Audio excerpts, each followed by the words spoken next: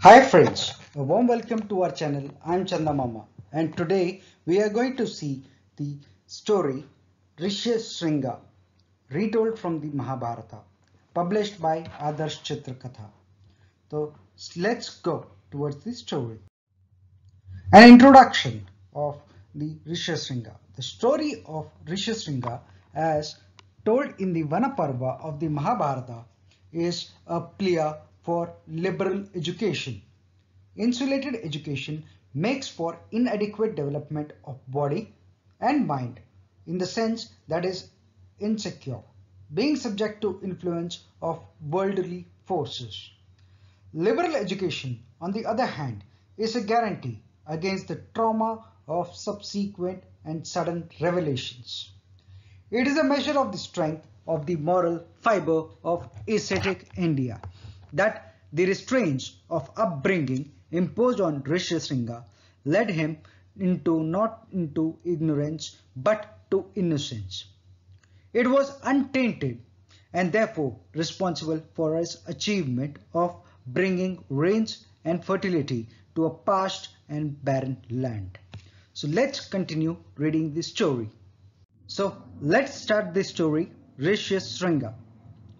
As the austere old hermit Vibhandaka looked upon the handsome, youthful lineaments of his son, Rishyasringa, he was pleased. He remembered the day when the enchanting Apsara Urvashi had for a moment disturbed him. What a divine form I just saw now! That innocent doe seems to be affected by the aura she has left behind. A few days later, another beautiful damsel had come up to him with a baby in her arms. Lord, accept your son. My son? Yes, your son. I am a celestial maiden. I had once offended Brahma and was cursed by him to be born on earth as a doe. When I repeatedly pleaded with him to revoke the curse, none can transgress the law of karma my words cannot be withdrawn. However, you may regain your own form and status in heaven if as a doe you beget a son of a rishi. By my supernatural powers, I have begotten this son of you. On his head he bears the stamp of his origin. Will you accept your son, O sage, and rear him as a rishi? I certainly will. He shall be called Rishyasringa and shall grow up to be the most virtuous among men. As Vibhandaka had walked away, the celestial maiden had vanished. I shall bring him up in isolation, lest he may be tempted away from the duties of a continent life. So taking the child deep into the forest, away from the world of men. Sage Vibhandaka had reared his son with utmost care. And Rishyasringa was a young man now. How innocent and pure he is. Had I not kept him isolated, he might not have shone so with the light of chastity. Son, I am going to gather fruits, hew the logs and set the sacrificial fire, going while I am away. At about that time, King Lomapada of Anga was performing a yajna propitiate Indra, the lord of heaven, rain and thunder. Suddenly, O king, the sacrificial fire does not blaze up. Have you broken any of the customary rules to be observed during the yajna? asked the rishi. Lomapada was guilty, but he dared not admit it. No, holy sirs, I haven't broken any rules. You lie to the earlier sin. You add the sin of falsehood. Wait, please don't dissent me. I shall atone for my lapses, said the king. We shall have nothing to do with you henceforth, said the holy sirs, and left the place. In the heavens, Indra too was displeased and displeasured. King Lomapada has no clear vision of his dharma. I shall withhold my life giving rain from the kingdom of Anga. Without rain, the crops withered and failed. Famine struck the land. Lomapada sent forest ministers. I'll go to Ayodhya and see my friend Dasharatha. Perhaps his, his priest may be uh, able to help and advise me. Meanwhile, you tell the priest here that I have gone away to atone for my misdeeds, that I am trying to make some amends. When Lomapada reached Dasharatha's place, my friend, you here, but where is your retinue, your insignia? Dasharatha, I am in trouble. I need your help. Asked King Lomapada to Dasharatha. Well, Lomapada told Dasharatha the whole story. Don't worry, my friend. My priests will advise you. They have never failed me. When the royal priests of Ayodhya heard the predicament of their monarch's friend, O king, send for a sage, Vibhandaka's chaste son, Rishyasringa. He dwells in the forest, knows nothing about the female sex, and talks and takes delight in simplicity. The moment the true hermit sets foot on your kingdom, there is not the least doubt that the clouds will burst and pour rain forthwith. Lomapada returned to Anga and sent for his ministers. I have found the solution. The great hermit Rishyasringa has only to step into Anga and our woes will end. What is the matter? Why do you look so sullen? asked the king. My lord, his father would never hear of it. It would be futile to try a direct invitation. Then find some other means, whatever they be. The sage must be brought here at all cost before my subjects perish for want of food and water. My lord, not send some courtesans to entice him here. They being women of the world are cleverer in such matters. An excellent idea. Send for the most accomplished courtesans of the land, says the king. When the courtesans were brought before the king, sage Vibhandaka's son, Rishyasringa must be brought to the kingdom, secure his confidence, tempt him and bring him here. The courtesans were stunned. Tempt the son of Vibhandaka? I dare not, said one of the courtesans. But dare we disobey the king? Said another. Yet, if we succeed, we would earn the merit of saving the kingdom from famine. I am willing to dare the wrath of the sage for such a good cause, said another courtesan. Then, trusting in fate, as we always do, I shall go with you, since, and so shall I, and I repeatedly told by courtesans managed to salvage the kingdom from famine and travel towards the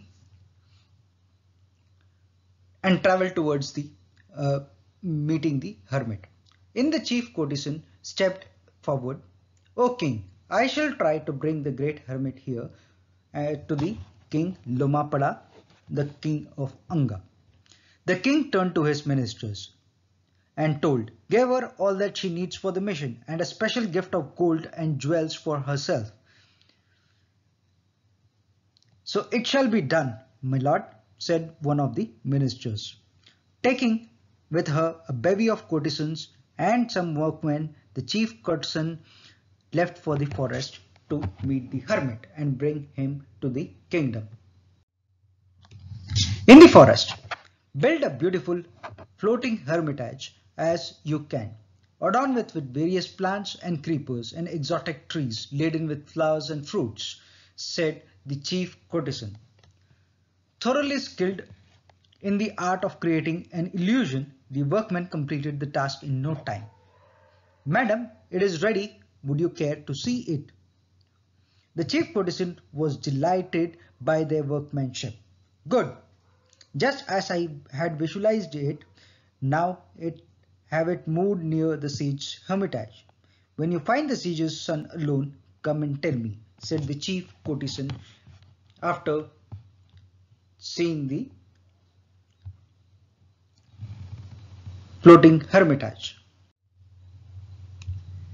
His mission accomplished, the man soon returned. Vibhandaka has gone deep into the forest in search of roots and fruits. Rishyasringa is alone in the hermitage. The courtesan turned to her daughter.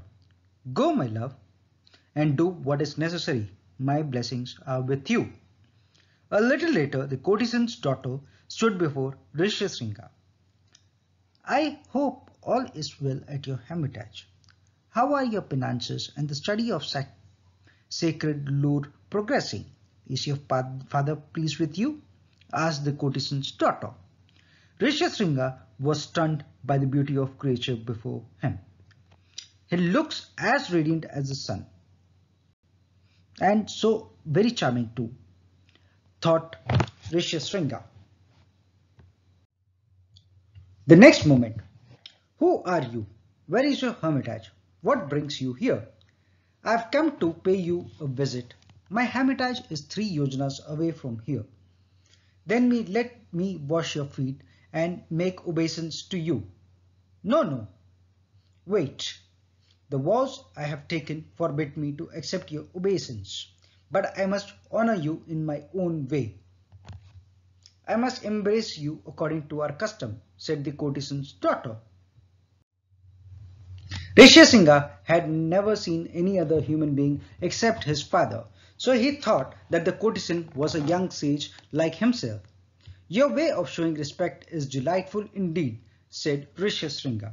Now, we shall eat these exotic fruits that I have brought. But first, cast off your coarse clothing and wear these silken robes, said the courtesan's daughter. Rishyasringa wore the fine clothes. How smooth and soft they feel. Come, sit by me on this mat.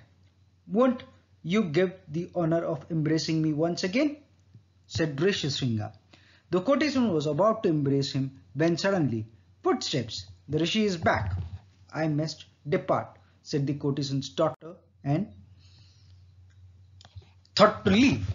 I have to go now. I have performed a sacrifice at a certain hour. I must rush to my hermitage. But will you come again? Won't you? asked Rishyasringa. I will, I will. Now let me go. And she leaves. Rishyasringa let go her hand, but his mind was disturbed. Why am I so sad? to see her go, thought Rishyasringa.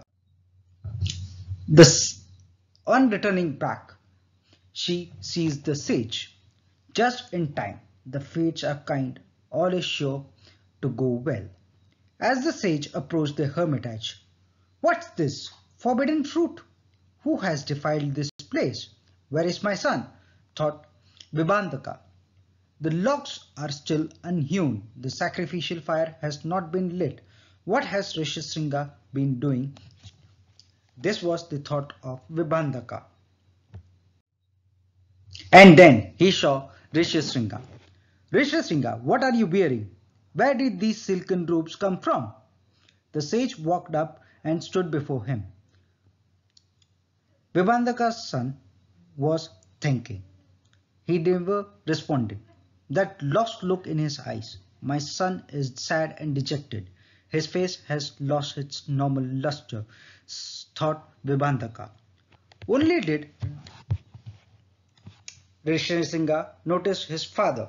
What's the matter with you, my son? Has anyone been here? That was the only cue the innocent Rishyasringa needed to speak what was nearest to his heart. Oh, father, a beautiful brahmachari came us to visit us. He had masses of lovely hair. His complexion was color uh, of a ripe mango and his eyes were as large as lotus petals, explained Rishyasringa to his father Vibhandaka. The beauty of his form and the lovely alt of his voice I cannot describe. A woman here in the hermitage. It was a Rakshasa or up an apsara, thought Vibhandaka. And oh father, the fruits he gave me were soft and sweet and had a special tang. And, and when he embraced me, I felt that I was transported to heaven itself. Shall I look for him and bring him here? The sage was in dilemma. Without a doubt, it was a woman. What, what shall I tell my son? How shall I protect him without destroying his innocence? At last, Vibhandaka slowly turned to his son. My child, that was no brahmachari. It must have been a demon in disguise, come here to disturb our penances and sacrifice. I shall hunt him out and punish him, said Vibhandaka, and left. Vibhandaka went deep into the forest, and for three whole days he searched, but the wretch has left no trace. Without any success, he returned to the hermitage. Did you find him, father? asked Rishyasringa. No, I didn't find but if he comes here again, chase him away, said Vibhandaka to his son. But his words fell on deaf ears. For a few days later, when Vibhandaka was away, he is come, the brahmachari has come, thought Rishyasringa. He rushed towards her. Welcome, brahmachari. Where have you been all these days? I have been waiting for you, said Rishyasringa to courtesan's daughter. Oh, the sacrifice took longer than I expected, said the courtesan's daughter to Rishyasringa. Are you not going to give me your customary honor by embracing me again? It's a divine way indeed, said Rishyasringa to the courtesan's daughter. Better still, take me to your hermitage. My father doesn't believe what I say about you. He may chase you away if he comes, said Rishyasringa to the courtesan's daughter. The courtesan seized the opportunity. Come, then come with me. I'll take you away for all time if you like. A hand in hand, both of them run towards the floating hermitage. And both of them leave the hermitage of the Vibhandaka sage. What a beautiful hermitage and so many brahmacharis here. Come, come my child, we will take you to even more beautiful hermitage than this one. As they sailed towards Anga, Rishyasringa learnt much that he had been denied from. We are not brahmacharis, we are women. You are a man, the whole world needs men and women, said the courtesan. My son, after the period of learning, men marry women and become householders. And together they propagate and preserve the race. Only a few brahmacharis remain all their life. Thus did the old courtesan instruct Rishyasringa in the ways of the world. They soon reached their destination. The moment Rishyasringa set the foot on the soil of Anga, flashes lightning lit the sky, claps of thunder rent the air, and the rain came down in torrents, almost drowning the jubilant shouts of joy. Glory be to Rishyasringa, and the drought has ended said the villagers of Anga. Meanwhile, at the palace, rain, the courtesans have succeeded. Rishyasringa is here, let's go and welcome him, said the king Lomapada. And the king and his ministers rushed to the barge. It's the king himself come to receive you, said the courtesan. A pleasantly surprised Rishyasringa was garlanded and anointed with the sandal paste by Lomapada himself. We shall now go to the apartments specially built for you in my palace, said the king to Rishyasringa. As he entered the apartment, fresh surprises awaited Rishyasringa. Who is that? She is fairer even than the maiden who brought me to this very heaven. She is my daughter Shanta. I give her to you to wed, said the king. Shanta came forward and garlanded Rishyasringa. But in the days that followed, while Rishyasringa enjoyed the pleasures of a householder's life, Lomapada spent sleepless nights. He was afraid. The terrible sage is sure to divine that his son is here. He will come to Anga and pronounce a curse on me, thought the king, and he was sleepless. I must act so that I at least break the tide of his fury before he reaches the palace. He was walking into the palace and thinking of how to manage the Vibhandaka's curse. The next day, he sent for the chief of cowherds. Sage Vibhandaka will soon be visiting us. Take some gifts and cows from the palace and ask your men to line the road into the kingdom and in the meanwhile sage Vibhandaka had returned to the hermitage. Rishyasringa, my child, where are you? Vibhandaka was looking for his son, Rishyasringa. He searched all around the hermitage and in the forest. Rishyasringa, he was searching for his son. Disturbed, he sat down to meditate using all his yogic powers. Suddenly, as Lomapada anticipated, he divined the situation and he was furious. So the culprit is the king Lomapada. He shall pay heavily for this, thought Vibhandaka, and he was furious. And he made his way to Anga. When he neared the kingdom, Holy sage, accept these gifts. These kind are from our master. Who is your master? Rishyasringa, your son, said the courtesan. As he approached nearer and nearer to the palace, Revered sir, we are your son's slaves.